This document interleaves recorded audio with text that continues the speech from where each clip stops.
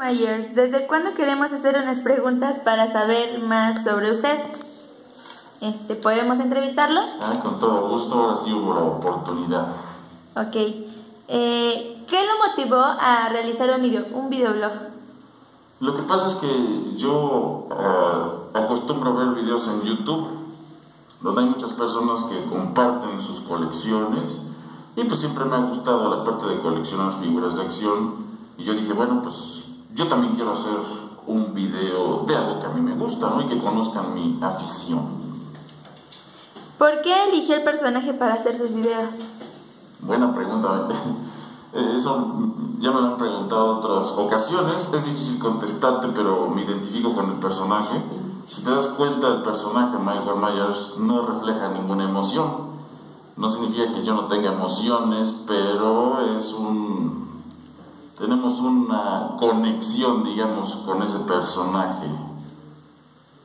Ah, ok. Y hablando así personalmente, este, ¿cuál es su carrera y qué es lo que estudia?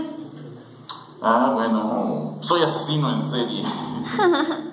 bueno, en realidad yo soy políglota, hablo cinco idiomas y a eso me dedico.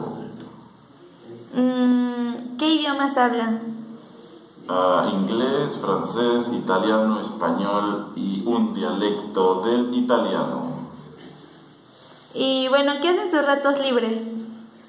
Bueno, pues como sabrás, en mis ratos libres estoy con mis figuras de acción, hago videos, este, platico en el Facebook con algunos amigos, por lo regular estoy en línea, perdiendo el tiempo, pero en realidad hablando con muchos buenos amigos. Y matando gente y matando gente de repente. Bueno, ya no, ya me reformé, solo los golpeo. Ah, bueno. Eh, ¿por, qué su... ¿Por qué su colección de figuras? ¿Por qué las colecciono? Bueno, pues tener una figura en tus manos hace que puedas estar feliz. Yo soy feliz con las figuras. Eh, sin las figuras yo creo que no sería yo alguien normal dirán que no soy normal, pero hay miles y millones de personas que las coleccionan porque te llenan, te hacen sentir bien, te hace que estés en un estado mental tranquilo. Y aparte, no me imagino no tener las figuras. ¿Qué estaría yo haciendo en este momento, no? O en otros momentos, estaría viendo películas o perdiendo el tiempo peleándome con alguien más o pensando estupideces. Entonces con las figuras uno está tranquilo, no juego con ellas, pero disfruto tenerlas en mis manos y observarlas. ¿Desde qué edad empezó a coleccionar? Bueno, te diría yo que desde la infancia empecé a coleccionar, pero no es conciencia a fin de cuentas, ¿no? Yo creo que retomé lo de la coleccionada bien bien a partir de los 22 años. ¿Y tiene alguna figura favorita? Sí tengo figuras favoritas. Yo creo que el primer Transformer, el, primero y segundo Transformer y el primer muñeco de He-Man son los, los, favoritos. Esos no tienen un costo monetario, sino un costo anímico.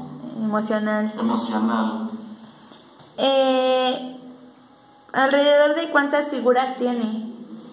Hijo, mira que eso está un poco difícil contestarte porque no las he contado. Tengo muchas figuras que están amontonadas. Ahorita estoy haciendo una vitrina para poderlos poner todos bonitos y contarlos, pero son muchas. Muchos, muchos. Muchas. Eh, bueno, uh, ¿nos puede contar algo sobre sus tatuajes? ¿Sobre mis tatuajes? Ah, en algunos videos sale con unos tatuajes. Entonces, quisiéramos saber eh, cuántos tiene y qué significan. Ah, pues mira, son preguntas muy profundas, te voy a decir, y es un poco difícil contestarlo. Eh, primero, si hay niños y jóvenes que están viendo este, esta entrevista, este, este diálogo que tenemos, eh, no se tatúen, no me arrepiento, pero no lo hagan porque duele mucho. Yo lo hice porque a mí me gusta el metal y yo decía, un metalero sin tatuajes es, es, es gay, es puñal. Entonces, este, a fin de cuentas, un tatuaje representa un estado anímico por el cual estás pasando. Muchas de las veces es porque te identificas con algunas de las imágenes. Es muy complicado hablar de ello, pero los tatuajes también son parte de mí. pero normalmente no los muestro, solamente que ratos libres o en algún video sí, porque me gustan, pero no lo recomiendo que lo hagan. También hay metaleros sin tatuajes y son bien machines. Eh, bueno, la otra pregunta es, eh, bueno, la recomendación que le da usted a los chicos que se quieren tatuar, pero otra cosa que quiera decir sobre los tatuajes, no, no sé. ¿A ti te gustan los tatuajes? A mí sí me gustan los tatuajes. Nunca me he hecho uno porque mis papás no me dejan. Sí, no. Pero sí me gustan. Quiero uno. Sí, como padres, un padre no, no le va a decir a sus hijos, pues no se lo va a permitir definitivamente, porque a fin de cuentas es una lesión en tu piel. Es una lesión, yo lo pensé desde muchos años, no fue así como que estaba yo borrachote y me voy a poner un tatuaje, ¿no? Desde la infancia me pegaba yo de esos de chiclito, este, con agüita, y me gustaba. Y era algo que ya, ya lo... Y mira, nadie de mi familia tiene tatuajes, nadie, nadie solo que es algo que a mí me llenó. Yo les recomiendo que lo piensen muchísimo. Si lo vas a hacer, primero debes de ser mayor de edad, que tengas conciencia, ya que muchos son menores de edad y se van por modas. El tatuarse por moda o por a ver qué dirán, o a lo mejor me voy a ver más atractivo o atractiva, no. Definitivamente hazlo por una gran convicción y que esa convicción, al menos que dure unos años, cuando estés seguro, entonces hazlo. De otra manera, yo digo que no lo hagas. Ok. Y ahorita hablando de lo que usted dijo, ¿cuál fue la reacción de sus padres al ver sus tatuajes? No, pues este, no les gustó. Mm. Me metí en muchos problemas. Pasaron muchos años, obviamente tus padres nunca lo van a aceptar. No, sí me metí en muchos problemas. bueno, este, muchas gracias, este, Michael Myers, por esta entrevista que nos hizo. Muy interesante. No, pues gracias a ti. Y... Es un gusto poder platicar contigo y mis saludos a los que están viendo este video, eh, a los niños, a los adolescentes que me están viendo, pues es un gusto. Este, les mando saludos a todos los que me están viendo, porque ahí tenemos staff. Es padre tener staff, director, productor, todo, es, es muy padre.